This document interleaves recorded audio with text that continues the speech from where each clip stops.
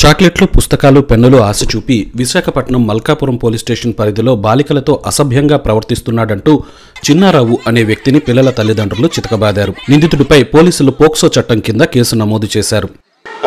ఉన్న దోమన్ చిన్నారావు అనే ఆయన ఇలాగ చిన్నపిల్లల్ని ఏదైతే sixth class fifth class fourth class చదువుతున్న పిల్లలకి అబ్యూజింగ్ చేస్తున్నాడని వాళ్ళ తల్లిదండ్రులకి ఆ పిల్లలు చెప్పడం వల్ల ఒక ట్యూషన్కి వెళ్తే ట్యూషన్లో పిల్లలు చెప్పడం వల్ల తల్లిదండ్రులు తెలుసుకొని తల్లిదండ్రులు ఆ స్కూల్కి పిలిపించి వాళ్ళతో మాట్లాడి అడిగితే ఆయన డినై చేసినట్టు దాని మీద అక్కడ చిన్న ఘర్షణ జరిగి ఆయన్ని కొట్టడం జరిగిందన్నారు. అదే మేము చూస్తున్నాం.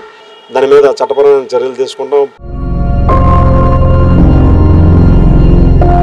పోలీసులు బాధితులు చెప్పిన వివరాల ప్రకారం మల్కాపురానికి చెందిన దోమాన చిన్నారావు అనే వ్యక్తి చిన్నారావు వెల్ఫేర్ సొసైటీ పేరుతో పాఠశాల విద్యార్థులకు పుస్తకాలు పెన్నులు అట్టలు ఉచితంగా పంపిణీ చేస్తుంటారు.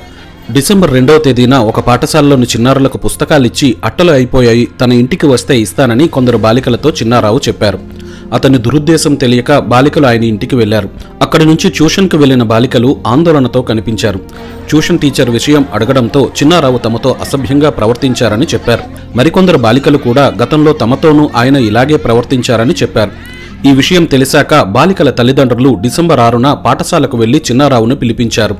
అక్కడికి వచ్చిన చిన్నారావును నిలదీశారు. ఆయన పొంతనలేని సమాధానాలు చెప్పడంతో అప్పటికే ఆగ్రహంగా ఉన్న తల్లిదండ్రులు చిన్నారావుపై దాడి చేశారు. దాడి సమయంలో పోలీసులు అక్కడికి చేరుకున్నారు. బాలికలతో మహిళా పోలీసులు మాట్లాడి చిన్నారావు తమతో ఎలా ప్రవర్తించింది తెలుసుకున్నారు.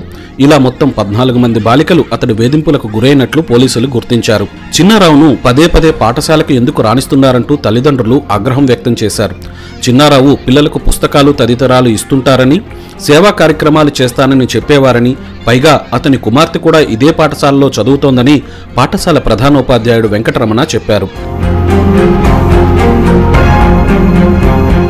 బాలికల తల్లిదండ్రులు కొట్టడంతో చిన్నారావుకు గాయాలయ్యాయి. దీంతో చికిత్స కోసం ఆయన్ను కేజీహెచ్కు తరలించారు.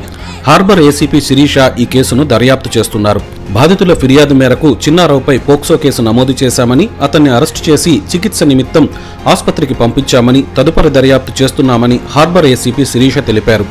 గతంలో కూడా పిల్లలపై మహిళలతో అనుచితంగా ప్రవర్తించడం ఆస్తి వివాదాల్లో తలదూర్చి లబ్ధి పొందడం వంటి ఆరోపణలతో చిన్నారావుపై పలు కేసులున్నాయి. అవి ఎక్కువ కావడంతో రెండు వేల పదిహేడులో మల్కాపురం పిఎస్లో ఆయనపై రౌడీ షీట్